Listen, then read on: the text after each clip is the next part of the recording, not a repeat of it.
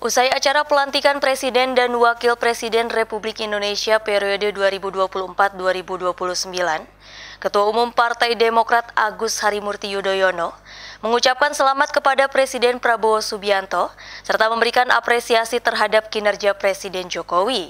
Ahy juga membenarkan bahwa akan diumumkan susunan Kabinet Prabowo Gibran.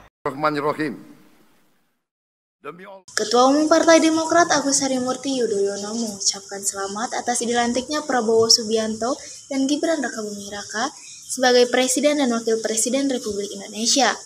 Selain itu, Ahaya juga mengucapkan terima kasih atas kepemimpinan Presiden Joko Widodo dan Wapres Ma'ruf Amin. Dirinya mengapresiasi segala capaian kabinet lalu dengan baik. Calon Menteri Koordinator itu juga menyatakan Segala capaian Jokowi akan disempurnakan di pemerintahan Prabowo.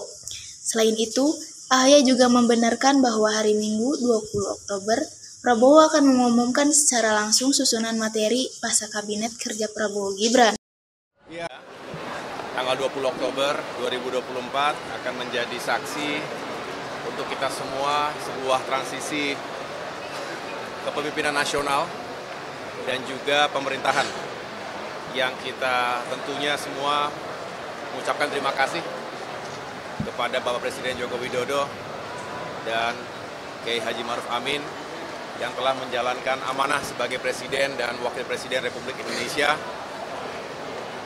Saya tentunya mengapresiasi segala hal yang telah dicapai dengan baik. Kalaupun ada yang belum tuntas, ada yang belum baik benar, yaitulah menjadi tugas bagi kita semua untuk bisa melakukan perbaikan dan penyempurnaan.